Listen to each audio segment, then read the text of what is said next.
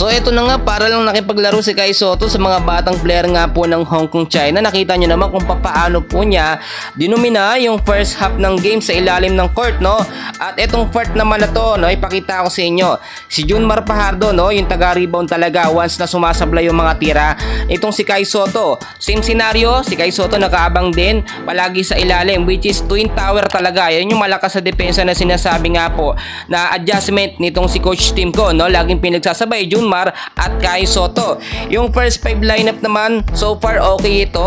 Ang nagbago lamang, si Dwight Ramos, pinalitan po ni Calvin Obtana, which is napaka-effective talaga. Hindi po mabasa ng Hong Kong China ang galawan ng Gilas Pilipinas. So nung first quarter, nakita natin, no, sayang din yung pagkakataon na ito, no.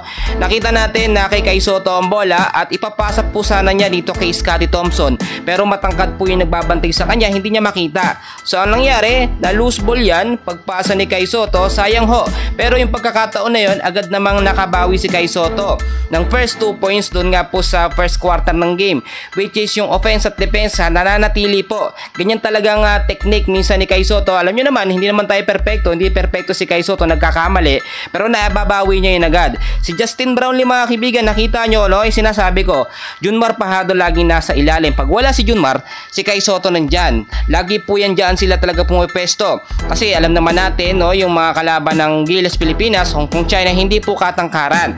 Kaya sinamantala nila yung pagkakataon na yon. Kahit nga si Junmar sa malayo tumitira, talagang nasusureball niya. Yan ang kagandahan kay Junmar mga kaibigan, no?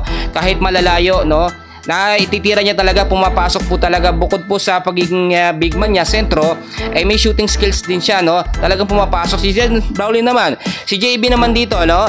Talagang kampante siya na yung tira niya dito hindi po matatamaan no? Hindi masusupalpal ng kalaban ng Hong Kong China. Kalmado siya dyan no? Dahil nga sa galawan ng Hong Kong China. Nababasa niya yun. Tingnan niyo mabuti. Ito yung sinasabi ko sa inyo na mala Justin Brownlee na mahirap basahin ng galaw at uh, yung mga times na yan mga kaibigan, lamang na lamang na dyan ng Gilas Pilipinas. Yung first quarter pa lamang, 25 to 69 naging score. At hindi na po yun nahabol ng Hong Kong China hanggang dumating po sa second quarter ng game. Which is, nagtapos po yung first half ng game, 10 points ang lamang ng Gilas Pilipinas, 45 to 35.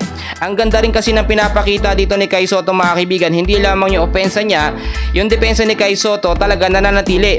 Ito naman sinasabi kong part na to, sumablay si Kai Soto, nandyan si Kevin Kimbao mga kaibigan, pinasok siya no, doon sa first half which is effective talaga. Nagsigawan pa nga yung mga fans, eh syempre alam nyo, yung, yung first game sa New Zealand hindi siya nagamit. Kaya si Kai Soto merong nakakatandem no, taga-alalay. Yan ang sinasabi ko, pag merong chemistry at momentum po ang mga player na magkakasama, madali nilang nakikita yung galawan po ng bawat isa. So sa second half, hindi na po nakahabol ang kupunan nga po ng Hong Kong China and congratulations sa Gilas Pilipinas.